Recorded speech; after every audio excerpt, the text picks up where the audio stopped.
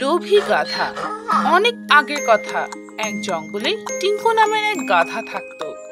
তার পরিবারের সবাই কারও না কারোর জন্য কাজ করত।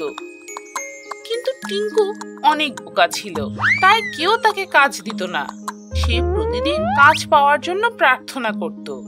আমাকে কেউ কাজ দেয় না। আমার বাড়িতে সবাই আমাকে নিয়ে তামাশা করে। এক টিঙ্কুর উপর অনেক দয়া হয়। সে তার কাছে এসে বলে টিঙ্কু তোমার ভালো সময় শুরু হয়েছে। তুমি যা ইচ্ছে তাই করতে পারবে। তুমি কি সত্যিই কাজ করতে চাও? হ্যাঁ আমি সবাইকে কাজ করে দেখাতে চাই যে আমিও কাজ করতে পারি। পরি জাদু করে দেয় আর তখনই এক ব্যবসায়ী টিঙ্কুকে তার সাথে নিয়ে যায়। সে কাপড়ের ব্যবসা করত। আর টিঙ্কুর পিঠে কাপড়ের বস্তা রেখে শহরের দিকে যেত। টিঙ্কু কিছুদিন খুশি মনে কাজ করে। কিন্তু এক সপ্তাহ পর সে পরীকে ডেকে বলে হে পরি আমি কাজ করে ক্লান্ত হয়ে গিয়েছি। আমি আর করতে পারছি না। আমার মালিক অনেক খারাপ। আমি অন্য কোনো মালিক চাই। সে অনেক কাজ করায়। কিন্তু পরি বুঝতে পারে যে টিঙ্কু এখন অলস হয়ে গেছে। আর কাজ না করার বাহানা খুঁজছে। টিঙ্কুকে শাস্তি দেওয়ার জন্য পরি টিঙ্কুকে এক কুমারের কাছে পাঠায়। কুমার মাটির জিনিস বানাতো আর সেগুলো বিক্রি করার জন্য টিঙ্কুর উপরে রাখতো। আহা আমি তো ক্লান্ত হয়ে গেলাম। পরিমশাই আমাকে বাঁচাও। পরি এসে তাকে বলে কি হয়েছে টিঙ্কু? আবার ক্লান্ত? টিঙ্কুর মালিক তাকে দিয়ে কাজ করাতো কিন্তু তার যত্নও নিত। কাজ পাল্টানোর জন্য টিঙ্কু পরীকে মিথ্যা কথা বলে। না না আমার মালিক অনেক খারাপ। আমাকে মারে আমাকে খাবার দেয় না। টিঙ্কু আমি শেষবারের মতো তোমার মালিক পাল্টে দেব। তুমি কি সত্যিই তাই চাও? হ্যাঁ হ্যাঁ এক্ষুনি দাও। আমার মালিক পাল্টে দাও। পরি টিঙ্কুকে অনেক খারাপ মূর্তির কারিগরের কাছে পাঠিয়ে দেয়। সেই লোক সত্যিই অনেক খারাপ ছিল। সে টিঙ্কুকে অনেক মারতো। আরে না না। পরি আমার পুরনো মালিক অনেক ভালো ছিল। আমাকে তার কাছে ফিরিয়ে দাও তো। এই লোক অনেক খারাপ। এখন আর কিছুই করা যাবে না টিঙ্কু। এটাই তোমার ইচ্ছে ছিল যা এখন পূরণ হয়েছে। টিঙ্কু তার ভুল বুঝতে পারে এবং তার বোঝা বইতে কষ্ট হলেও সে তা সহ্য করে। এজন্যই বলে যে মিথ্যা বলা উচিত না আর অলসতা করাও উচিত নয়। এক ছাগল তার ছেলে মনুর সাথে এক গ্রামে থাকতো। মনু অনেক দুষ্ট ছিল আর তার মায়ের কোনো কথা শুনতো না। একদিন মনু তার মাকে বলল মা আমি জঙ্গলে যাই। না বাবা এমনটা করে না। এই জঙ্গল অনেক বড়। জঙ্গলে ভয়ানক প্রাণী আছে। তুমি কখনো জঙ্গলে যাবে না ঠিক আছে? মনু মায়ের কথা শোনে না আর বাইরে যাওয়ার জন্য জিদ করতে থাকে। মা আমি একটু পরেই ফিরে আসব। তুমি চিন্তা করো না। আমাকে জঙ্গল দেখতে দাও তো। মা মনুকে অনেক বোঝায় কিন্তু মনু কোনো কথা না শুনে জঙ্গলের দিকে চলে যায়। সে যেতে যেতে জঙ্গলের ভেতর অনেক দূর চলে যায়। অন্ধকার হতে থাকে আর মনু রাস্তা হারিয়ে ফেলে। আরে আমি এ কোথায় চলে এসেছি? আমি ফিরে যাব কীভাবে? আমি কিচ্ছু বুঝতে পারছি না। আমি কোথায় আছি? মা! মা! মনু তার মাকে খুঁজে আর জোরে জোরে কাঁদতে শুরু করে। আশেপাশে রাস্তা খুঁজতে থাকে। কিন্তু সে সঠিক রাস্তা খুঁজে পায় না। চালাক শিয়াল তাকে সেখানে দেখে ফেলে। বাহ, এই ছাগল ছানা তো অনেক সুস্বাদু হবে। এ তো হারিয়ে গিয়েছে। মজা হবে অনেক। একে তো রান্না করেও খেতে পারব, কাঁচাও খেতে পারব। হা। ওরে বন্ধু, কোথায় যাও? আমি আর অপেক্ষা করতে পারছি না। এক্ষুনি গিয়ে একে ধরে ফেলি। চালাক শিয়াল মনুর কাছে এসে তার সাথে কথা বলতে শুরু করে। আরে বাবা কাঁদছো কেন? শান্ত হও শান্ত হও। বলো আমি তোমাকে কীভাবে সাহায্য করতে পারি? আমি রাস্তা হারিয়ে ফেলেছি। আমি ফিরে যেতে চাই।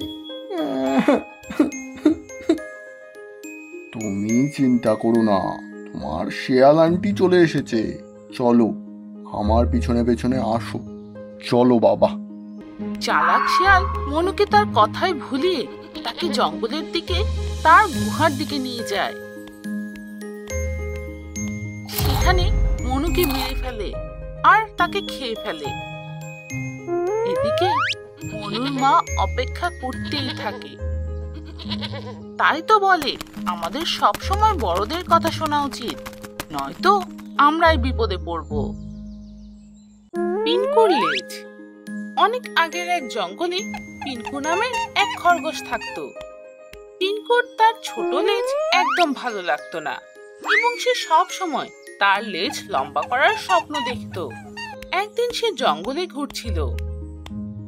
ওই কাঠ বিড়ালিকে জিজ্ঞাসা করি কত লম্বা ও সুন্দর লেজ। যদি আমার লেজও লম্বা হতো কত ভালো লাগতো আমাকে। যদি হতো। পিনকুর মন খারাপ হয়ে যায়। তখনই তার বন্ধু চম্পু বাদর সেখানে আসে। কি হয়েছে বন্ধু? তোমার মন খারাপ কেন? চম্পু তুমি তো জানো যে আমি আমার ছোট লেজ একদম পছন্দ করি না। আমি বিরক্ত হয়ে গিয়েছি। তোমার কাছে কি লেজ লম্বা করার কোনো উপায় আছে? শোনো পিকু এমন ভাবতে হয় না। প্রভু সব প্রাণীদের তাদের প্রয়োজনের হিসাবেই তাদের লেজ দিয়েছেন। আমি গাছে থাকি, তাই আমার লেজ লম্বা। আর তুমি মাটিতে থাকো, তাই তোমার লেজ ছোট, যাতে তুমি শিকারীদের থেকে প্রাণ বাঁচাতে পারো ও দ্রুত দৌড়াতে পারো। কিন্তু চম্পু, এত বোঝানোর পরও পিনকু বুঝতে চায় না। এবং সে রাগ করে সেখান থেকে চলে যায়। যেতে যেতে সে এক গ্রামের কাছে যায়। গ্রামে সে একটি বাচ্চাকে খেলতে দেখে। বাচ্চাটি একটি মাটির বেড়াল নিয়ে খেলা করছিল। বাবা, তাড়াতাড়ি আসো। খাবার খেয়ে নাও। আসছি, মা। বাচ্চাটি খেলনা বিড়াল রেখে তার মায়ের কাছে চলে যায়। এই সুযোগে সেই খেলনাটি তার গর্তে নিয়ে আসে। এখন আমি এই বিড়ালের লেজ খুলে আমার লেজে লাগিয়ে নেব।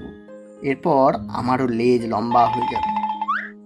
কিছুদিন সে খেলনা থেকে লেজ খুলে তার লেজে লাগানোর চেষ্টা করে। অবশেষে একদিন সে সফল হয়ে যায়।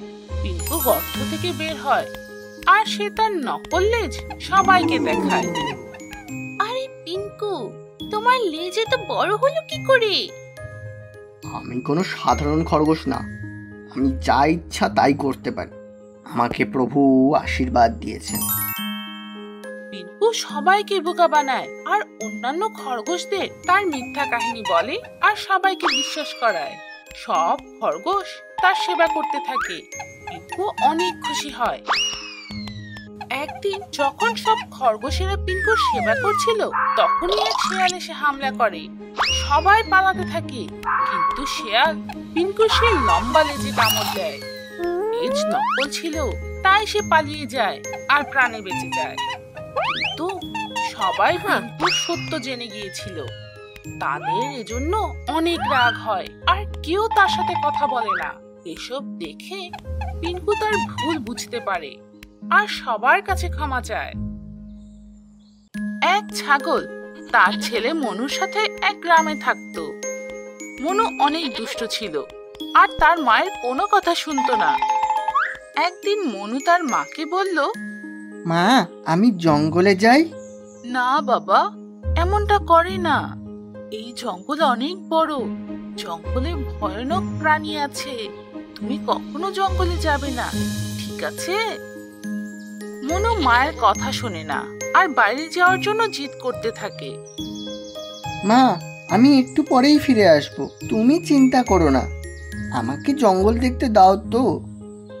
মা মনুকে অনেক বোঝায়, কিন্তু মনু কোনো কথা না শুনে জঙ্গলের দিকে চলে যায়। সে যেতে যেতে জঙ্গলের ভেতর অনেক দূর চলে যায়, অন্ধকার হতে থাকে আর মনু রাস্তা হারিয়ে ফেলে। আরে আমি কোথায় চলে এসেছি? আমি ফিরে যাব কীভাবে? আমি কিচ্ছু বুঝতে পারছি না। আমি কোথায় আছি? মা! মা! মনু তার মাকে খুঁজে আর জোরে জোরে কাঁদতে শুরু করে। আশেপাশে রাস্তা খুঁজতে থাকে, কিন্তু সে সঠিক রাস্তা খুঁজে পায় না। চালাক শিয়াল তাকে সেখানে দেখে ফেলে। বাহ, এই ছাগল ছানা তো অনেক সুস্বাদু হবে। এ তো হারিয়ে গিয়েছে। মজা হবে অনেক। একে তো রান্না করেও খেতে পারব, কাঁচাও খেতে পারব। হা হা হা। ওরে বন্ধু কোথায় যাও? আমি আর অপেক্ষা করতে পারছি না। এক্ষুনি গিয়ে একে ধরে ফেলি। চালাক শিয়াল মনুর কাছে এসে তার সাথে কথা বলতে শুরু করে। আরে বাবা কাঁদছো কেন? শান্ত হও শান্ত হও। বলো আমি তোমাকে কীভাবে সাহায্য করতে পারি? আমি রাস্তা হারিয়ে ফেলেছি আমি ফিরে যেতে চাই। তুমি চিন্তা করো না তোমার শেয়াল আন্টি চলে এসেছে। চলো আমার পিছনে পেছনে আসো।